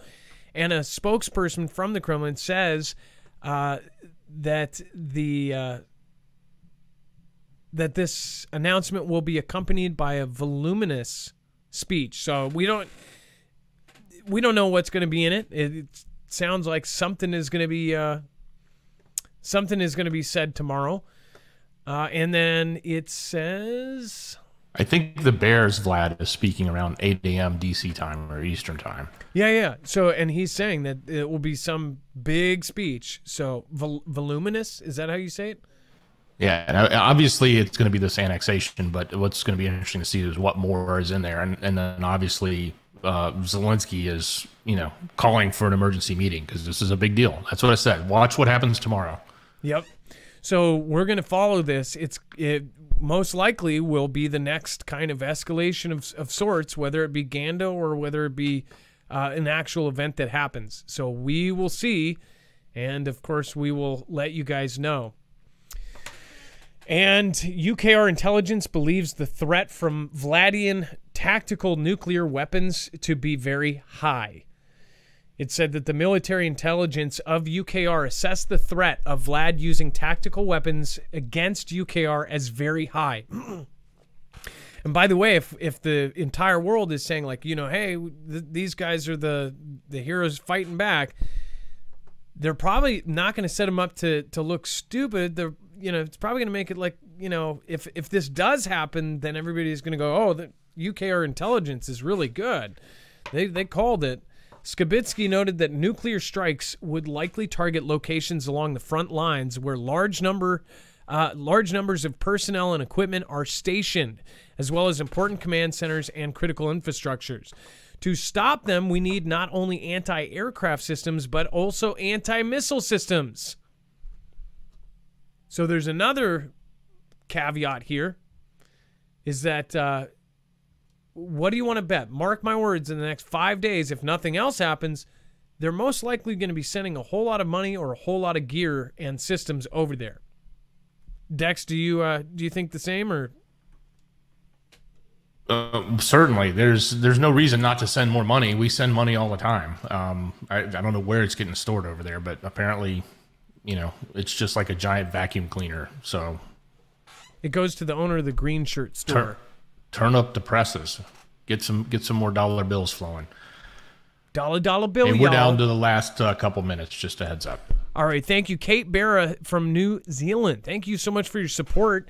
Uh, really appreciate all of the all of the folks from around the world that are watching right now. Hot Soup Don John, a channel we helped a long time ago reach a thousand. How are you doing, man? It's it is nice to see you popping in and thank you for your support. I really do appreciate that. I hope you're still creating and still making videos. Uh, Craig Alicious, thank you again for the uh, comment. Appreciate that.